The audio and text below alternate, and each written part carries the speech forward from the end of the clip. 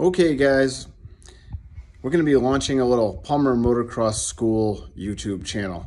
It's going to take me a little bit of time to get used to how to do it and um, build build subscribers. I have to build 1,000 subscribers. Um, I have to go through like a bunch of other, you know, kind of checkpoints to like start building a channel. I got to learn how to edit and do like a few things like that uh, get comfortable with the interface, learn how to make better videos, create better content. But I want to make a YouTube channel for motocross riders, and we will be covering um, and consulting with other riders, covering things like uh, I, I want to work on the belief system of the performance part of motocross. So, um, for an example, like how a top performing athlete gets to where he is and how he stays there and continues to progress or at least continues to mirror what he's doing. So, you know, we don't want to get stale and we want to continue to progress. We have to overcome a lot of things and there's a lot of failures in that process. We'll also touch on things like rider technique, bike setup, the health of your bike, the health of your body, the health of your mind, stuff like that. I know this is very general, but I will go over certain things that I do with my bike, certain things that I like in particular. I can share things that other riders like, different variations of styles, and I will try to answer any motocross related question or get you the answer. So I have some good fingers I can reach out to to get the answers for those things.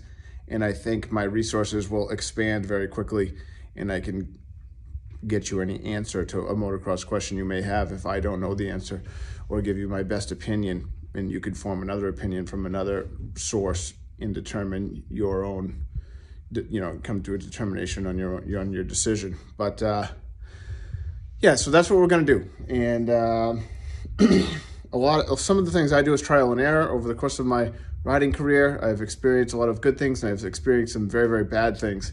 And so I kind of know what I like now in my bike. I know what my body can handle, the type of positions my body needs to be in so it doesn't like hurt itself. Inadvertently, like riding in a poor uh, posture, fundamental way, what it hurts my body and it kills your confidence after a while because things start to get irritated and aggravated and they, they don't calm down. They kind of flare up. So I know how to handle that. I know how to set my bike up for that. The older you get, the more experience you have the more I think that comes into play because you, you have to set do things in a certain way. And if you do things in a certain way, you will get results. And then there's the performance part where I have a certain riding, riding style.